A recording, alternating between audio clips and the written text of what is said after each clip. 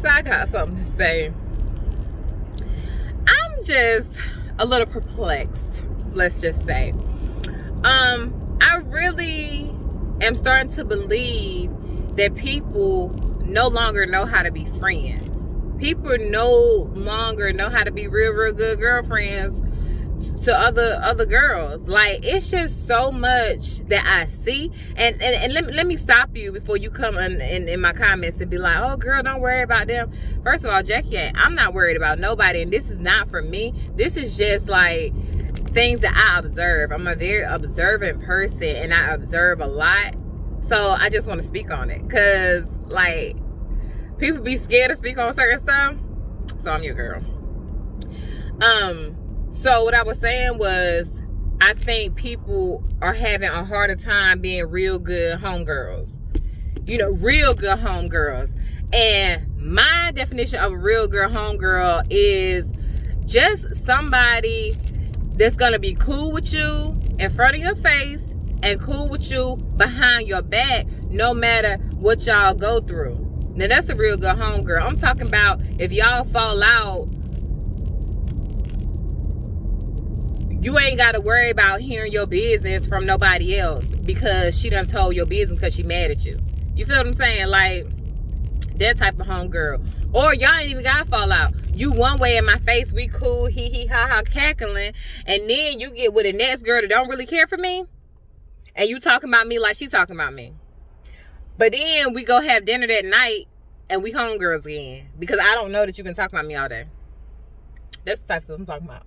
But anyway, um I don't I think we have gotten away from how to be real, real good homegirls. And I think we need to get back to that. Because we all need that one homegirl, that two homegirls, maybe even three homegirls that we can call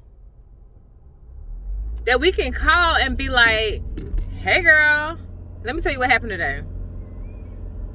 Or hey girl, let me tell you what I did today.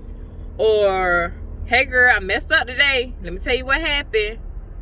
And I need some advice and I could tell you anything and everything that I go through, and either you gonna give me feedback, you gonna pray for me, or you gonna be like, oh no, girl, that ain't you. You know what I'm saying? Like, you gonna always be there for me. And I ain't gotta worry about how you carrying my name behind my back. To me, people that are one way in your face and then they act totally different behind your back, it's something that they're envious of of you. It's something that that's in you that they wish that was in them. And because that they really feel that type of way about that one thing that's in you that they don't like, then they really ain't really down for you like that. But they don't know how to tell you that or they don't know how to shy away from you because it's something in you that they do like. You feel me? It's some value in you that they like. And they always take away from that value, but they don't never add nothing to you because they're really envious of you. Let me tell you how you could you could point them, them friends out.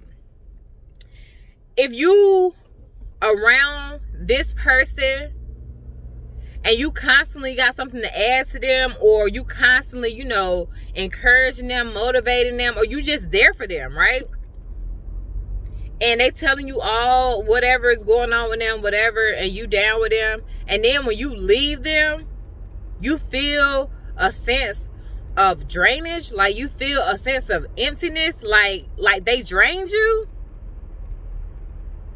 that's a sign. That's a sign that that's not really your people. That's a leech. It's something in you that they're taking from you every time you're in their presence. They are leeching off you, sis. Leeching off you. So just be mindful. When you're around people, be mindful of how you you feel. Be mindful of your energy. And then if you sense that this person is draining you, Instead of going behind their backs talking about them, Shy away from them. Like my mom always tell me, feed them from a long handle spoon because those are not your people. What you need, you need people. you need people that you can add value to and that can add value to you. Now I ain't saying let those people go all together because those people really might need you. But you don't need to get hurt in the process. So you got to know who your people are. You really have to label your friends. You have to know, okay, this one I could trust. This one I can't trust. This one I could talk to about anything. This one I could only talk to her about schoolwork. This one I could only talk to her about my job. Like you really got to label people and know where people stand. Because if you don't, you're to get your feelings hurt. So, yeah, that's my two cents, sis. We got to get back to being better friends, being better, better people in general.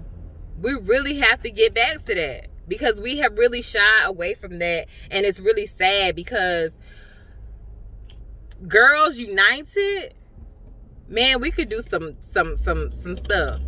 So get back to that, you know, find out who your people are and stick to those people. Y'all be blessed.